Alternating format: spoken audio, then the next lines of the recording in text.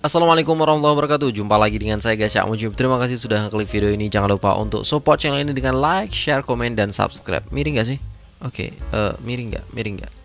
Kalau miring nggak apa-apa sih sebenarnya. Oke, okay. uh, eh, di sini saya akan mereaction sebuah video. Ini video baru 1 Juli 2020 kemarin ya. Uh, Malaysia Sifar case uh, tempatan dan satu case baru COVID-19. Oke, okay, langsung saja guys kita reaction. Okay. Empat bulan sudah berlalu Aha. sejak kes pertama gelombang uh-huh. kedua COVID-19 dilaporkan di Malaysia hmm. iaitu pada 27 Februari 2020. Uh-huh. Mhm. Buat pertama kalinya pada hari ini Malaysia mencatatkan wow. kes harian COVID-19 yang terendah sepanjang gelombang kedua pandemik COVID-19. Lebih penting lagi, tiada kes COVID-19 yang dilaporkan mendapat jangkitan dari dalam negara. Wow. Ada di kalangan warga negara Malaysia ataupun bukan warga negara. Malahan kes harian COVID-19 di kalangan rakyat Malaysia iaitu yang mendapat jangkitan di dalam negara didapati sejajar dengan unjuran kes harian dalam pemodelan dan ramalan pada 21 Mei 2020 oleh Institut Kesihatan Negara Kementerian Kesihatan Malaysia. Wow. Kes baru yang dilaporkan hari ini pula adalah hanya satu kes iaitu kes import yang mendapat jangkitan di luar negara. Mm-hmm. Kementerian Kesihatan ingin mengucapkan syabas kepada semua Syabas. Syabas tu apa guys? Masyarakat Malaysia di atas pencapaian ini.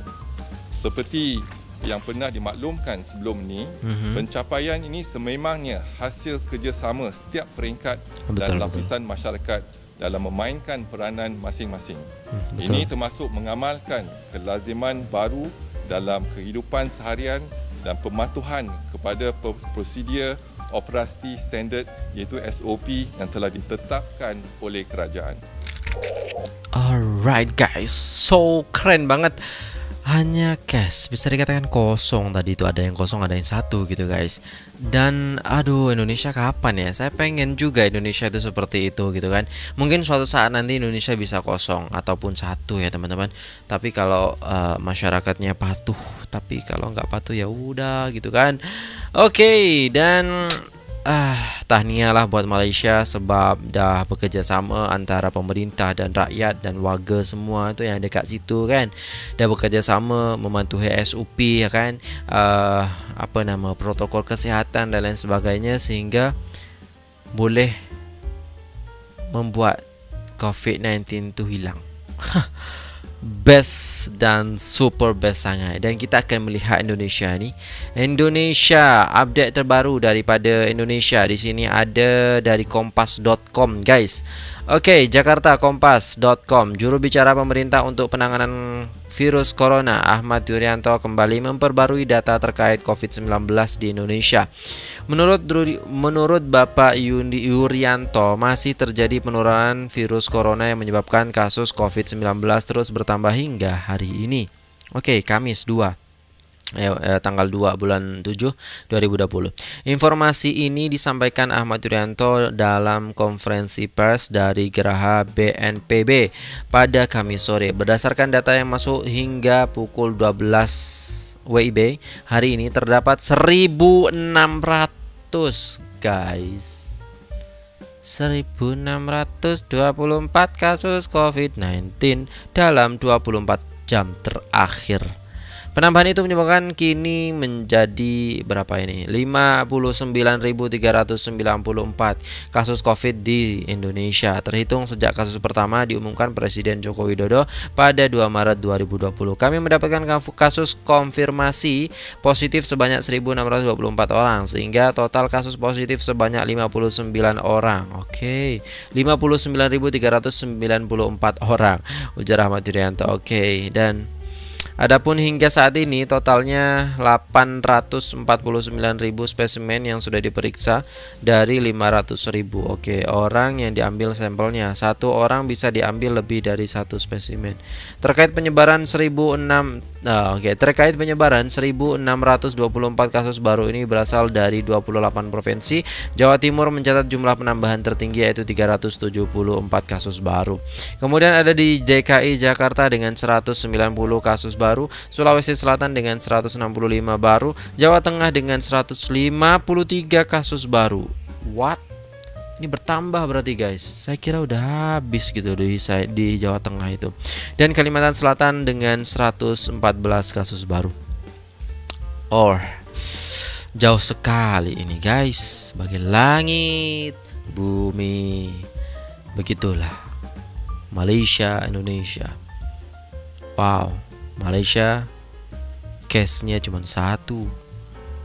Di Indonesia juga satu guys. Tapi ada tambahannya 1624 Aduh, pening bala saya nih. Yang terpenting adalah kesadaran teman-teman semua, kesadaran orang-orangnya.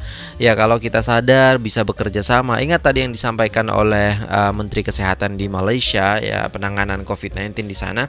Uh, karena mereka mengatakan karena ya, karena apa? Karena masyarakat Malaysia, penduduk Malaysia mematuhi SOP, mematuhi protokol kesehatan. Dibilang jangan keluar ya jangan keluar ya kan. Di Malaysia kalau perlu sesuatu mereka pergi tapi hanya satu orang saja guys. Kalau di, di Indonesia ya uh, sekarang ini kan sudah new normal ya sama dengan di Malaysia. Akan tetapi new normalnya di sini itu keren so super keren banget. Jadi kalau mau belanja tetap ya berbondong-bondong. Aduh harusnya kan tidak seperti itu. Karena memang uh, case-nya itu semakin banyak ya.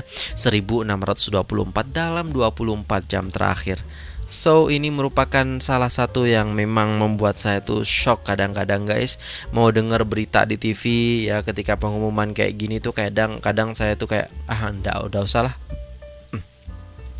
Nah ketika saya mau dengerin uh, istilahnya pengumuman seperti ini kadang saya tuh kayak ah nggak usah lah paling nambah gitu kan.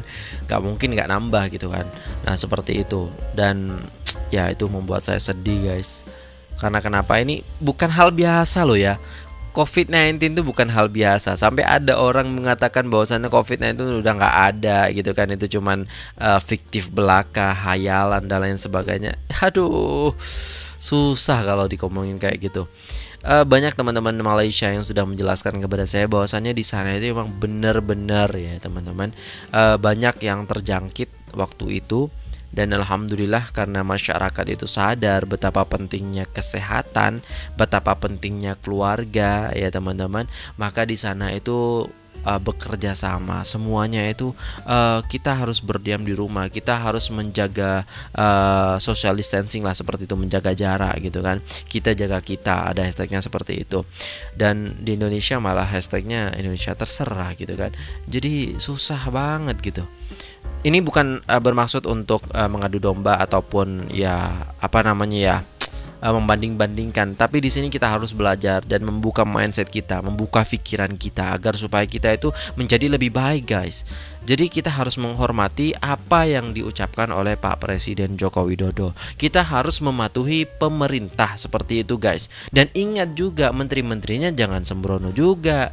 Kalau Pak Presiden ngomong seperti ini ya udah dijalanin seperti itu. Jangan buat yang ya ya buat pemikiran sendiri gitu kan. Dana sebesar itu dicairkan ya kan diturunkan oleh Pak Presiden Jokowi. Yang cair mah cuma satu per 1,3 persen. Mau ke mana gitu loh. Istilahnya dalam kesehatan ini sangat urgent sekali sekarang itu. Istilahnya ekonomi bantuan kepada masyarakat itu memang sangat butuh sekali gitu loh. Jadi jangan sampai seperti itulah. Ya semoga orang-orang di atas sana itu paham dan punya perasaan istilahnya bukan mereka ya. Mereka sakit nggak apa-apa sih sebenarnya ya kan? Karena banyak duit. Nah kalau masyarakat gimana? Ya ya susah juga sih. Aduh pusing saya. Dah itu saja. Semoga bermanfaat ya. Buat teman-teman semua yang di Indonesia ingat ya di Malaysia sudah case nya tinggal satu. Ya itu pun bukan dari dalam tapi dari luar. Bisa dikatakan nol dan di Indonesia satu juga ya. Satu enam dua empat. Seribu dua seribu enam ratus dua puluh empat. Oke. Eh enam puluh ribu. Udah enam puluh ribu guys. Saya cek ini enam puluh ribu. Sekarang untuk sekarang ini untuk hari ini yang saya record video ini udah 60 ribu orang yang terjangkit. So so so kasihan banget ya Ah, semoga mereka yang terjangkit ini segera diberikan kepulihan ya kesembuhan Allah Subhanahu wa taala. Apabila memang Allah menginginkan dia meninggal ataupun Allah menginginkan dia kembali kepadanya maka semoga menjadi khusnul khatimah. Amin amin ya rabbal alamin. Oke okay, guys terima kasih sudah menonton video ini. Jangan lupa untuk like share komen dan subscribe. Terima kasih. Assalamualaikum warahmatullahi wabarakatuh